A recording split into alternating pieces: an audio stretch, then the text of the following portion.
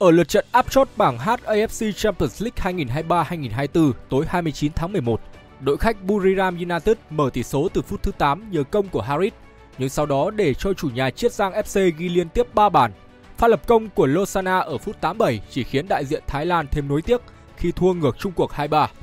Trận đấu diễn ra quyết liệt với nhiều tình huống nóng, buộc trọng tài chính phải rút ra tới 8 thẻ vàng chia đều cho hai đội.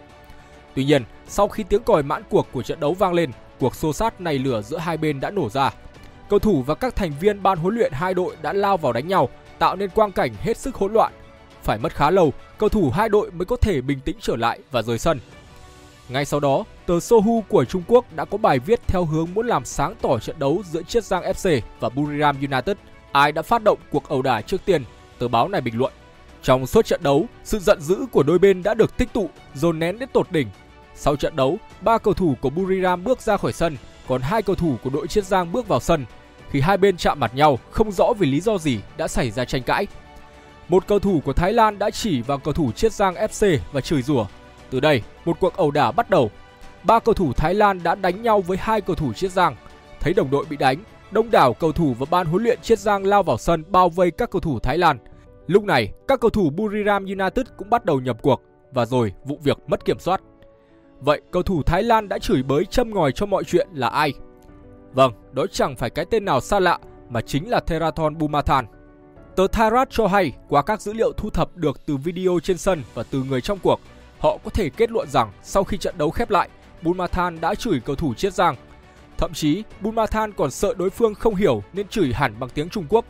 Chứng kiến thủ quân của mình lời qua tiếng lại không cần thiết, tiền vệ trẻ Leon James đến gần hai cầu thủ Chiết Giang và nói Bình tĩnh, trận đấu đã kết thúc rồi. Nhưng hai cầu thủ Chiết Giang lại phản ứng trước thiện chí của đối thủ bằng cách tát vào mặt của Leon James, khiến cho phía cầu thủ của Buriram đáp trả.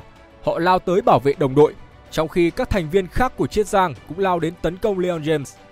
Chưa dừng lại, phó chủ tịch của Buriram United đứng trên lề giơ ngón tay giữa lên và Dion Kun, hậu vệ của Buriram có hành động tương tự để xúc phạm đối thủ. Tiếp đến, cầu thủ số 11 có tên là Coles đã có hành vi không đẹp khi thực hiện động tác giơ hai ngón tay cái chĩa xuống đất để khiêu khích các cổ động viên đội Chiết Giang. Điều đáng nói, thủ phạm Bunmathan khi thấy tình hình căng thẳng lại trốn mất tăm. Anh không tham gia vào tình huống xô sát, thậm chí còn đóng vai người hòa giải. Trang Instagram của câu lạc bộ Chiết Giang đã phản ứng bằng dòng trạng thái đáp trả đầy mỉa mai và họ ghi hẳn bằng tiếng Thái. Khi thái độ quyết định chiều cao của bạn ám chỉ việc chiều cao hạn chế của Bunmathan và vị quan chức Buriram Báo chí Trung Quốc thì khẳng định Bumathan là kẻ thật sự đáng bị đánh trong trường hợp này. Một phóng viên của tờ 163 nhận định Ramin Seydayev là cầu thủ bị vây đánh. Tuy nhiên, người thực sự khởi xướng vụ ẩu đả đã thoát khỏi cảnh bị dính đòn. Người đó chính là Terathon Bumathan. So với Ramin Seydayev, chính Terathon Bumathan mới là người đáng bị đánh hơn. Anh ta có nhiều lời nói bậy bạ trong suốt trận đấu nhằm chọc tức đội Chiết Giang.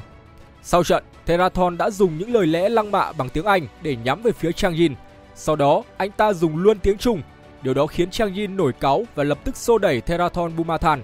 Điều này khiến tiền vệ của câu lạc bộ Chiết Giang bị các cầu thủ Buriram vây lấy và phải nhận một cái tát vào mặt. Lập tức, đội Chiết Giang lao tới và cuộc ẩu đả bắt đầu. Về phía kẻ khơi mào, khi thấy vụ việc trở nên ngày càng căng thẳng, anh ta đã thực sự bỏ chạy.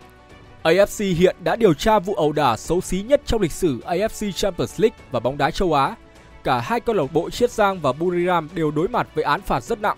Nhưng câu lạc bộ của Trung Quốc có thể bị trừng phạt nặng hơn vì để xảy ra sự cố ngay trên sân nhà, để cổ động viên ném vật lạ xuống sân, cũng như công tác an ninh không đảm bảo và kịp thời ngăn chặn sự việc từ sớm.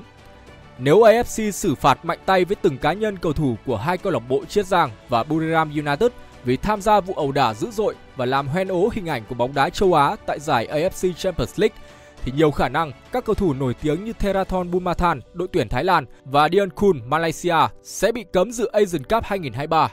Trang Voket FC cho biết. Nói chung, cái ngày mà Bumathan nhận án phạt nặng nề thế này sớm muộn cũng xảy ra mà thôi. Đội tuyển Việt Nam là những người biết rõ nhất sự bẩn thỉu mà Hoa Vinh thường mang đến trên sân. Bên cạnh tài năng không thể phủ nhận của anh ta, đầu tiên là AFF Cup 2020. Ở lượt đi, khi kết thúc trận đấu, hậu vệ của Thái Lan cố tình đi ngang qua khu kỹ thuật của Việt Nam và khiêu khích huấn luyện viên Park Hang-seo. Hành vi không thể chấp nhận này làm bùng lên bầu không khí hỗn loạn sau đó. Đây chỉ là một phần trong chuỗi hành động xấu xí của Theraton trong cả hai lượt trận. Trước khi bắt đầu lượt về, Bulmathan thể hiện thái độ thiếu tôn trọng đội tuyển Việt Nam khi có hành động không nghiêm túc là giả vờ cúi xuống buộc dây giày khi thầy trò huấn luyện viên Park Hang-seo hát quốc ca. Trong trận, Bulmathan vung tay vào mặt Quang Hải ở sát đường biên trận lượt đi, giật trỏ đánh nguội Phạm Xuân Mạnh trong phút cuối trận lượt về. Thật lạ khi các trọng tài đều bỏ qua những lỗi này khiến Theraton vẫn có mặt ngay trên sân thay vì đi tắm sớm. Ngay cả báo chí Thái Lan cũng cho rằng đội nhà chơi không đẹp, cố gắng phá lối chơi của đối thủ bằng sự thô bạo.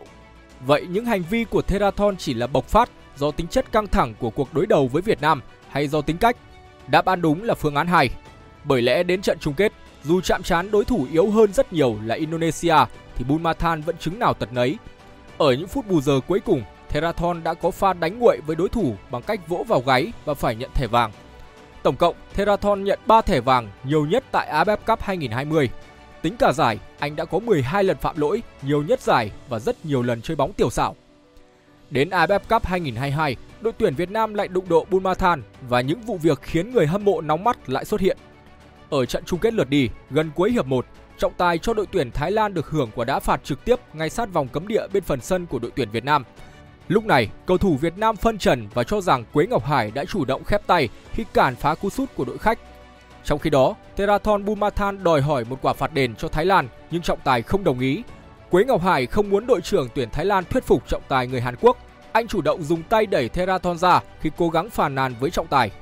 Mâu thuẫn từ đó phát sinh giữa hai cầu thủ mang áo số 3. Cầu thủ hai bên tranh cãi rất quyết liệt và lúc này Terathon đã không giữ được bình tĩnh, lao đến bóp cổ Quế Ngọc Hải. Đáp lại, Ngọc Hải cũng xô đẩy đội trưởng đội tuyển Thái Lan. Sức nóng càng lên cao khi hàng loạt cầu thủ đội khách cũng nhập cuộc gây hấn. Đáng chú ý, trong khi Quế Ngọc Hải phải nhận thẻ vàng thì Terathon lại thoát án phạt. Trước những lời buộc tội hướng đến mình, Terathon đổi lỗi cho hoàn cảnh. Các đội đá rát khi gặp Thái Lan, không lẽ chúng tôi cứ chịu trận và buông xuôi? Hành động của tôi chỉ là câu trả lời cho việc thường xuyên bị đá rát mà thôi, Theraton nói. Tuy nhiên, chẳng ai thấy Bulmathan bị chơi xấu mà thanh niên này toàn đi cà khịa và đá láo với người ta trước. Hy vọng rằng dịp này, AFC hãy phạt thật nặng vua quỳ trỏ để cho anh ta biết đường mà hối cải.